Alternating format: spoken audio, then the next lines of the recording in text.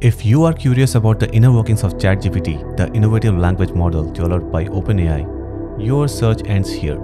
In this video, I'll clarify the process and take you on a journey through the key stages involved in its operation such as data collection, training, fine-tuning and evaluation. And I hope this will help anyone in enhancing and expand their knowledge in AI technology. Now in my previous video, I discussed the growing popularity of ChatGPT Microsoft's plan for it, and its real-world applications. And now it's time to see how ChatGPT works. So sit back and get ready to learn the inner workings of ChatGPT. GPT, it is a type of language model developed by the organization OpenAI. You will keep hearing the term language model a lot. A language model is basically a computer program that helps us to understand and generate language, just like we do, and it trained to predict the next word given in a sequence of words which means it can read words and sentences and make sense of what they mean, and then it can also make up new sentences. GPT-2 is the original GPT model. There is no GPT-1 if you're wondering. And GPT-3 is the latest release and the largest version of GPT model yet. ChatGPT-3 is also a language model, which is a fine-tuned variant of GPT-3. ChatGPT was fine-tuned specifically for conversational language generation. That is how we humans communicate with each other when we are having a conversation. But OpenAI is not the only company out there. Just like GPT developed by OpenAI, there are several other variants developed by other companies. We have BERT developed by Google, RoBERTa developed by Facebook AI, which they claim to be an improved version of BERT, Elmo developed by Allen Institute for AI, UlmFit developed by FastAI, and Google's AI LaMDA language model for dialogue applications. It's a language model developed by Google that is designed to generate human-like conversation. But more on that in my future video. Now the choice of which model to use depends on the specific requirements and constraints of the task. For example, ChatGPT was developed for conversational language generations. Now for each of these computer programs or language models, such as ChatGPT, to be able to read words or generate sentences that make sense, they all need to be trained. Training a GPT-style language model like ChatGPT involves several stages. The first stage involves collecting a large corpus of text data to train the model on. This can come from various sources such as books, websites, or even social media such as TikTok. The collected data is then pre-processed, which involves cleaning up the data and converting it into a format suitable for training the model. This may involve removing unwanted characters, converting text to lowercase, and tokenizing that is splitting the text into smaller units such as words or subwords. The next stage is to define the model architecture. Now GPT stands for Generative Pre-trained Transformer. All GPT style models are based on the transformer architecture. Defining the architecture is a very important step and I may deep dive in the transformer architecture in my future videos.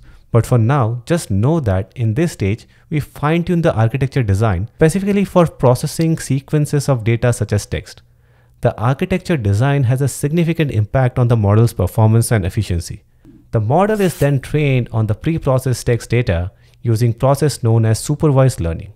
And during this stage, the model is presented with the input text and the desired output, and then it adjusts its biases to minimize the difference between its prediction and the actual output. This process is repeated for many thousands of iterations until the model has learned to generate outputs that closely match the desired outputs. For example, during the training stage, the model would be presented with the input text, what is the capital of France? And the desired output, Paris is the capital of France.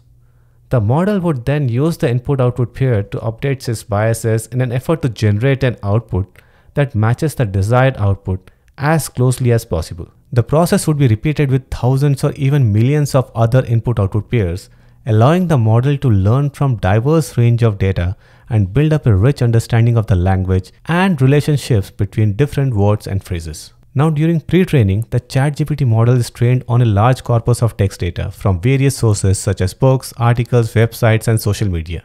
This provides the model with a wide range of information, making it capable of generating diverse outputs.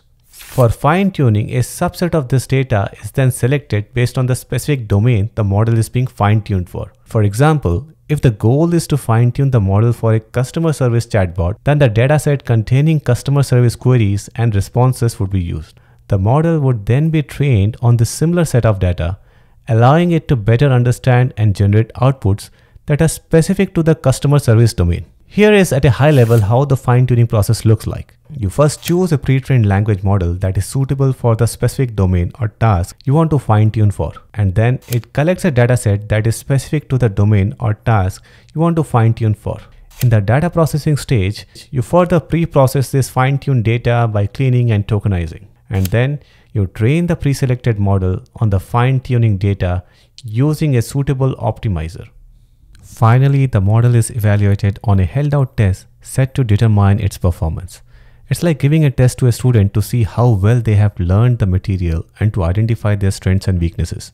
The results of this evaluation are then used to make any improvements to the model and to further refine its performance and accuracy. And once the evaluation is complete, the model is ready to answer our prompt, that is, generating response.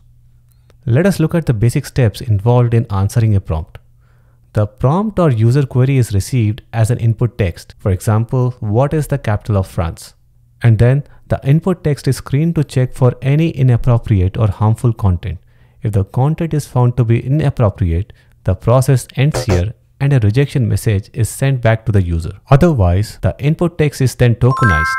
That is, it is converted into a sequence of tokens where each token represents a word or a symbol. So in this case, the input text is tokenized into what is the capital of France Question mark. The next stage is model inference, which itself contains of many other stages. But at a high level, it first does the input encoding. That is, the tokens are encoded into numerical format suitable for input into the model.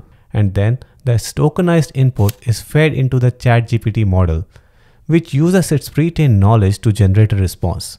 And finally, the model decodes it, meaning the model selects the output with the highest probability as the answer.